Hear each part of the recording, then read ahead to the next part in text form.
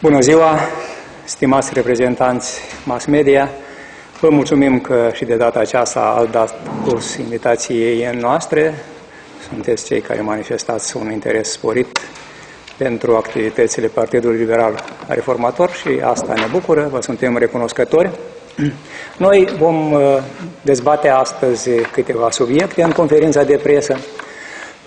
În primul rând, pentru că toată lumea este acum cu ochii pe ceea ce se întâmplă la București, uh, noi ne-am exprimat uh, sentimentele noastre de condoleanță pentru poporul român în momentul, contextul doliului național.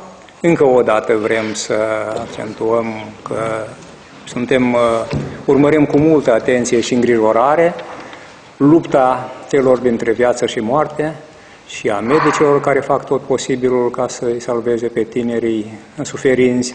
Suntem alături de familiile celor care sunt în suferință și ne exprimăm uh, condoleanțele încă o dată și profunda îngrijorare. Suntem mișcați până în adâncul sufletului.